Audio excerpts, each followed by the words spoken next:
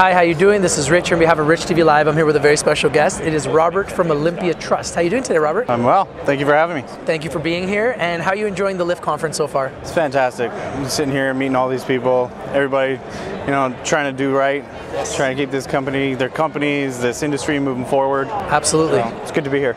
Now, you said you're they're they're trying to get their, their companies moving forward, and that's exactly what you guys do. You That's help me. companies that are in distress. So, can you tell us a little bit about Olympia Trust? You guys are public. Yep. Maybe tell us a little bit about your symbol and what you guys specialize in. Right. So you can find Olympia stock tickers OLY on the TSX. Uh, and essentially, you bring us on, we're going to be your in house facilitator for moving money.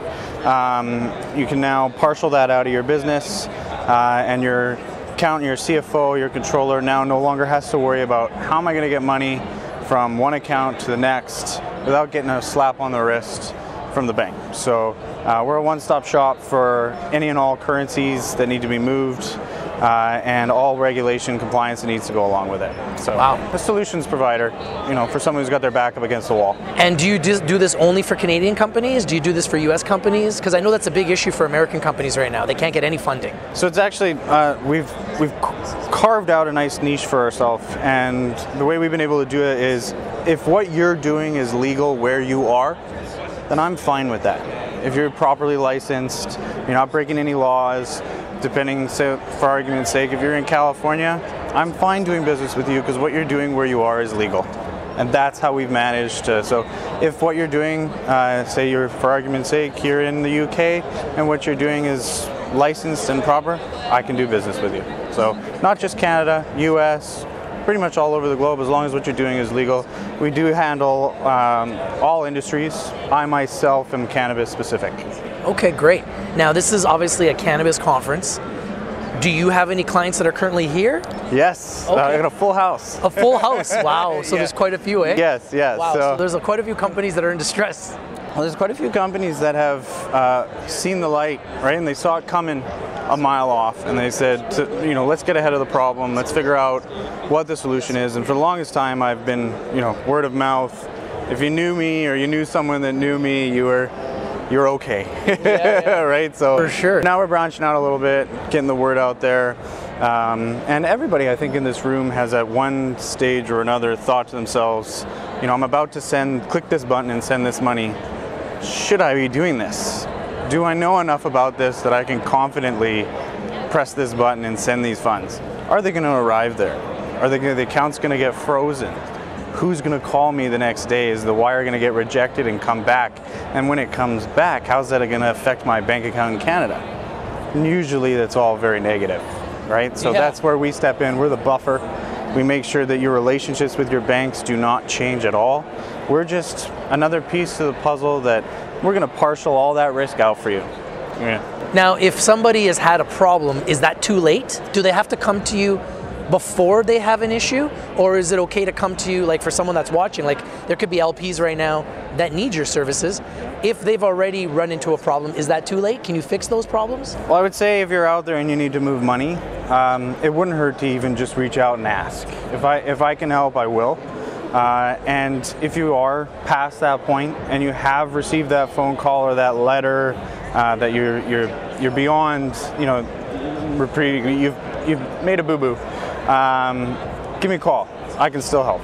And a lot of what I do is I'm a solutions provider. So when you take us on, you know, I'll eventually, you know, we'll be very close. I'll be CC'd on everything that you're doing. I'll be, you know, a WhatsApp or a text message or an email away. Uh, and I'll be heavily integrated in everything that you're doing. And we'll figure it out from there as a solutions based. What do you need to do? How do we do it properly? Now, this is a sector that is obviously a hyper growth sector. We've seen massive growth and then massive retraction this year for the entire sector. The entire market cap is down like 60, 70% this year.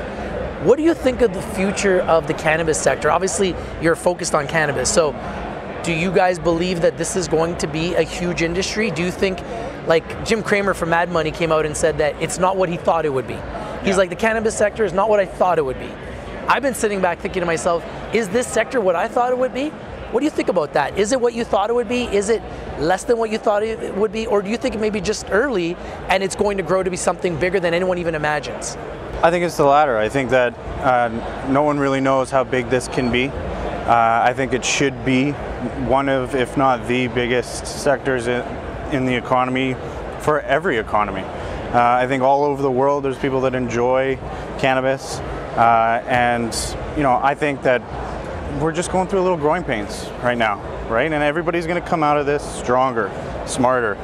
You know, before this, if you didn't know me and you start doing business with me, right away you're stronger. You got a line of defense, and you know this this contraction is what it takes for you to reach out from you know where you are with your relationship with your bank or who you're doing business with and seek help from others i think that's a good thing you know so let's just say i'm an lp um, i'm a mile away from having some problems. I see this video and i'm like yeah i need that.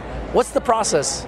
They call you and then what? Yeah so you're to call me uh, and i'm to ask you some very pointed questions uh, on where you are in your business cycle uh, how far off you are on your licensing um, and uh, we're going to go from there. Uh, and baby steps really if you're that far away uh, from cultivating or or even having your license you know stamped with approval with a date on it and an expiry date uh, you know we're still going to be able to help. And, and not only you know my wheelhouse is moving money but if you imagine I do know quite a few people that can help in different scenarios as well. You know, if you're looking for someone who's uh, a, a, lawyer that's been in the position to help with whatever problem you have on your plate, I probably know a guy, right? So I could probably help, you know, in different ways to say, you know, maybe we look down this route or help even in the initial stages to say your shareholder structure needs to change.